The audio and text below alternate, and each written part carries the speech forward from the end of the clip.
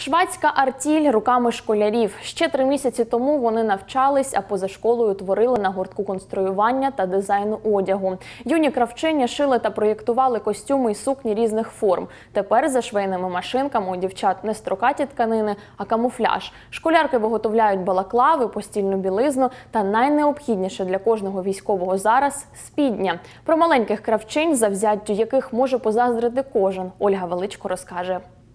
У невеликому приміщенні, де стіни завішані викрійками, на стендах намальовані ескізи дизайнерського одягу. У вісім рук на швейних машинках працюють дівчата. Щоправда, ескізи з незвичними сукнями поки так і залишились на папері. Школярки зараз мають нові завдання одягти українську армію.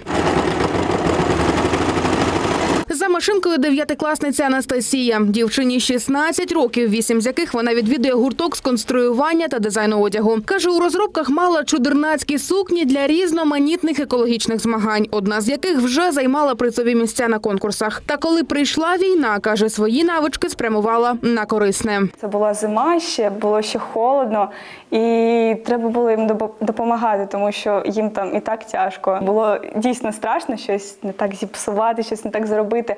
Але зараз це дуже легко. Якщо в дівчат і є якісь огріхи, їх допомагає виправити керівниця гуртка пані Вікторія. Жінка показує, з чого все починалось. Балаклави. Їх за три місяці нашили майже дев'ять сотень. Зараз у дівчат нові запити від військових спідня білизна. Всі гадали, що труси це дуже легко, але не так. Все починається з викрійки на тканині. Її обводять маркером. Далі бавовняні шаблони вирізають розкрійним ножем. Дівчат до цього гострого апарату не підпускають. Та намацати зручну для чоловіків форму білизни було нелегко, каже Вікторія. За манекена брала свого чоловіка. Для, для початку я поміряла на чоловіка ці труси, і він сказав, що вони незручні. Тоді я взяла його білизну і розпорола її. І з цього зробила саму викрійку. Я все вимірювала на ньому, щоб було зручно йому. І коли він сказав, що це отак, добре, і тоді ми вже почали шити. І вдячність від наших захисників не змусила довго чекати. Вони зі сльозами на очах казали дякуємо. Вони були дуже вдячні нам.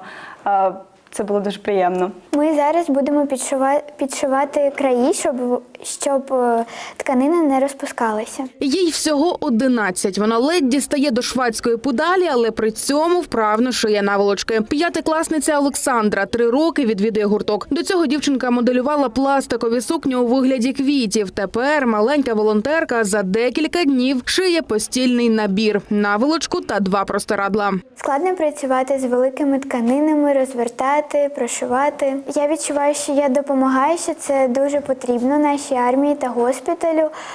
Ем, Це такий невеликий обов'язок, чим я можу допомогти. 50 комплектів постільного, три сотні спіднього та майже тисяча балаклав. Це пошили дівчата за три місяці війни. Кожна юна швачка до цього процесу долучилася за власним бажанням. Невдовзі планують розпочати і пошив футболок для бійців. Ми отримали новорічний подарунок від департаменту молодіжної політики та національно-патріотичного виховання е, машинки. Думали, що будемо конкурсні костюми шити.